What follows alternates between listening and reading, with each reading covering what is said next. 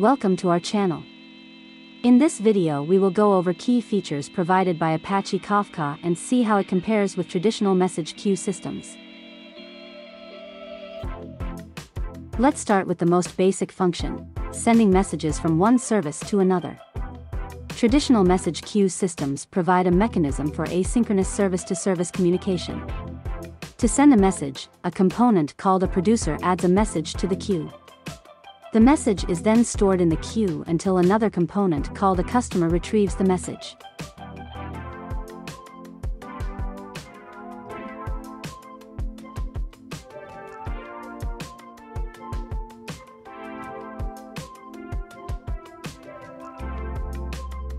Kafka also supports this function using slightly different terminology and implementation. To send a message, a producer adds a message to a topic.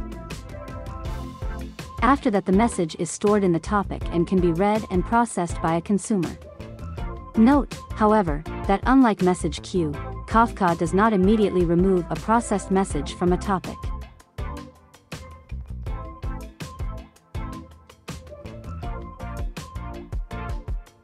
Now, let's compare broadcasting capabilities.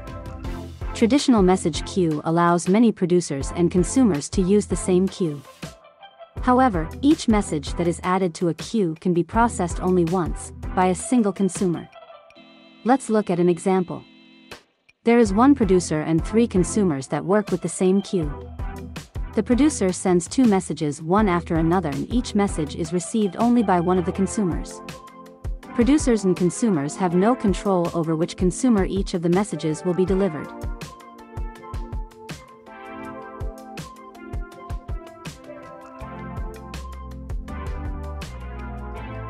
Just like a message queue, Kafka allows multiple producers and consumers to use the same topic. But in Kafka every message that is added to a topic is read and processed by every consumer group that is subscribed to a topic. This allows a producer to send every message to multiple services. Here is an example. There is one producer and three consumer groups that work with the same topic. The producer sends two messages one after another. Every consumer group receives every message.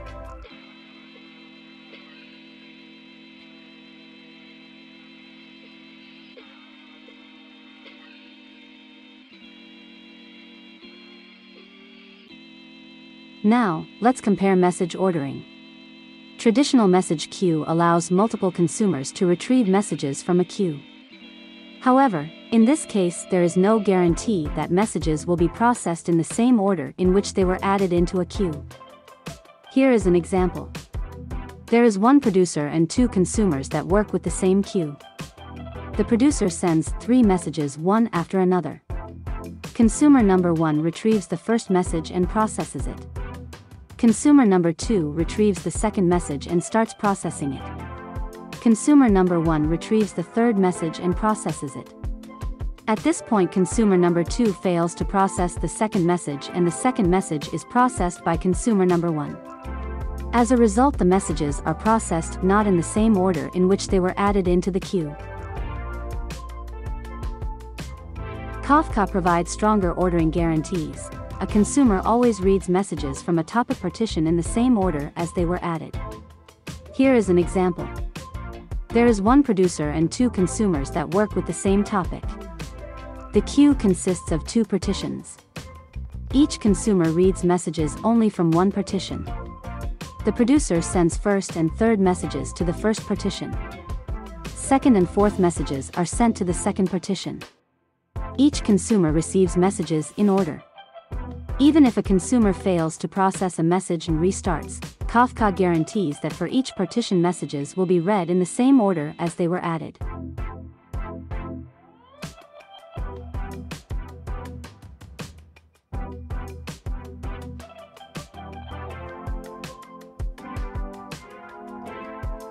Now, let's look at message replaying capabilities.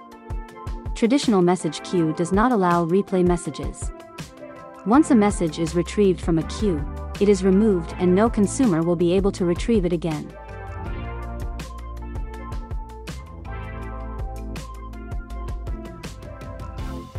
Kafka does not remove messages as soon as they are read.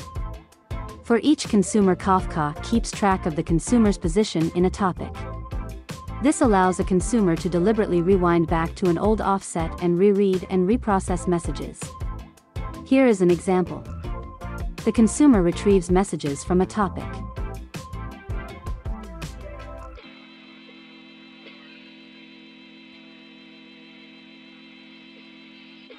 Later, the consumer resets its position in the topic and retrieves previously retrieved messages again. Now, let's compare limits on number of consumers. Traditional message queue does not limit the number of consumers that read data from a queue. Consumers can be added and removed as needed. In this example, there are three consumers that are simultaneously processing messages from a queue.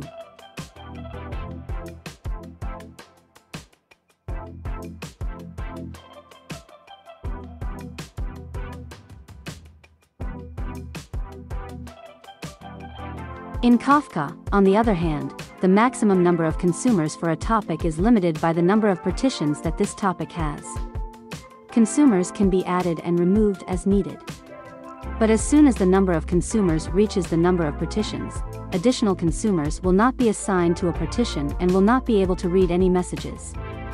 In this example, the second consumer is available to process messages from a topic, but since the topic has only two partitions that are already assigned to consumers, the second consumer is not receiving messages from the topic.